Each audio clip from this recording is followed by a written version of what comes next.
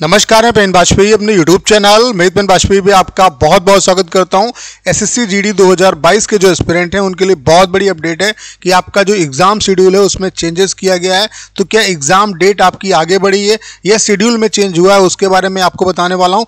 उसके अलावा आपके लिए एक और बड़ी गुड न्यूज़ है कि सभी रीजन्स का, यानी कि जितने भी आपके स्टेट हैं, उन सभी का आपका एग्ज़ाम का स्टेटस आउट हो चुका है।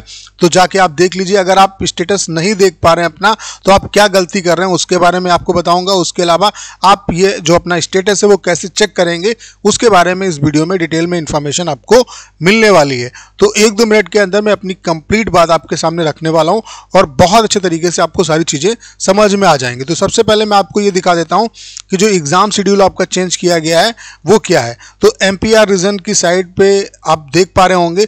यहाँ पे देखो, पहला ही आपका जो पॉइंट है उसमें दिया हुआ है status download admit card for constable G D कि आपका जीडी का जो स्टेटस है वो आउट हो चुका है। इसमें आप लोग एक बात ध्यान से देखिए, आपका जो एग्ज़ाम था, जो आपका नोटिस निकला था, उसमें बताया गया था कि 10 जनवरी से लेकर के 14 फरवरी तक आपका एग्ज़ाम है। लेकिन यहाँ पे आप लोग देख पा रहे होंगे कि टू बी ये आपका जो एग्ज़ाम है, वो कब से कब तक होगा?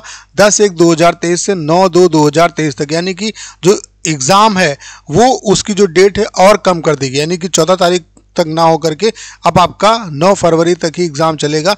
9 फरवरी तक सारा एग्ज़ाम जो है वो कंप्लीट करा लिया जाएगा। तो ये आपका शेड्यूल चेंज हुआ है।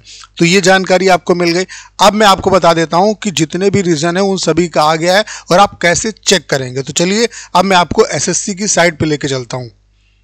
आपको अपना एग्ज़ाम स्टेटस कैसे देखना है, उसके बारे में आप ध्यान से इस चीज़ को देख लो कि किस तरीके से आपको क्या क्या करना है, आप आराम से अपना एग्ज़ाम स्टेटस देख पाएँगे। तो इस तरीके से आपको अपने क्रोम पे जाना है और यहाँ पे जब आप क्लिक करेंगे तो यहाँ पे आपको क्रोम पे S S C dot N I C dot in इस साइट पर आपको जाना है।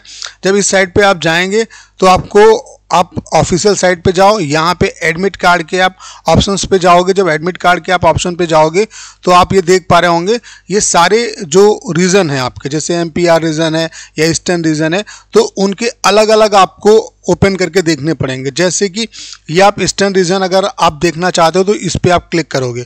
तो इस पर देखो, मैं क्लिक कर दे रहा हूँ तो आप लोग देख पा रहे होंगे know your status combined graduate level का आ गया है। उसके अलावा डिक्लेर डिक्लेरेशंस ये अलग है।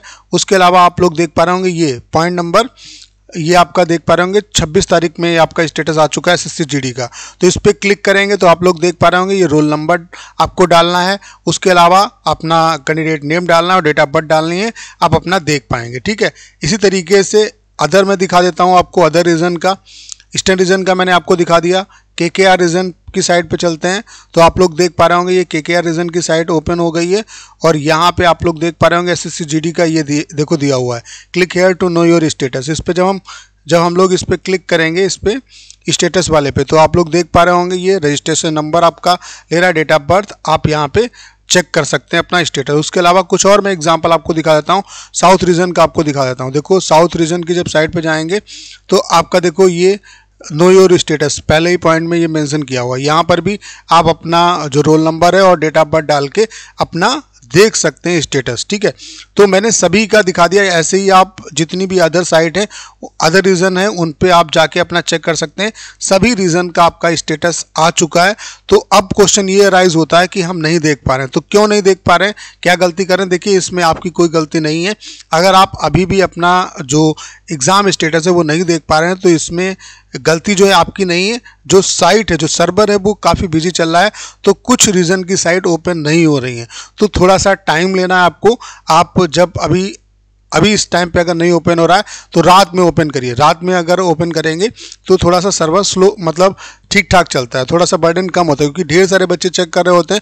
तो जब आप रात में ओपन करके देखेंगे तो आराम से अपना चेक कर पाएँगे, उसके लिए आपको परेशान होने की ज़रूरत नहीं है। तो अगर आप एग्ज़ाम स्टेटस नहीं देख पा रहे हैं तो किसी भी टाइम जब आपको रात में मोस्टली आप चेक करना, आपका हो जाएगा। तो सभी का स्टेटस आ गया अगर जिनका नहीं आया है, वो कल तक अपना स्टेटस देख लेंगे। तो इसके लिए आपको परेशान होने की ज़रूरत नहीं है। आपका जो एग्ज़ाम डेट है, उसमें कोई चेंजेस नहीं किया गया, बस उसको और कम दिन में आपका एग्ज़ाम कराया जा रहा है। पहले 10 जनवरी से 14 फरवरी तक हो रहा था, अब 10 जनवरी से लेकर के 9 फरवरी तक ही एग्ज़ाम है आपका। तो ये आपके लिए मतलब अच्छी खबर है कि बहुत जल्द आपका एग्ज़ाम कंडक्ट हो जाएगा और उसके बाद रिज़ल्ट का जो प्रोसेस है वो आगे बढ़ेगा। तो ये थी छोटी सी जानकारी जो मुझे आप लोगों से शेयर करनी थी। उम्मीद करता हूँ कि सही जानकारी आप अच्छे तरीके से समझ पाएँगे आपको करना क्या इस वीडियो को ज़्यादा शेयर करना है। उसके अलावा अगर आप चैनल पर नए हैं और आपने अभी तक इसे सब्सक्राइब नहीं किया है तो प्लीज़ चैनल को सब्सक्राइब करना मत भूलिएगा।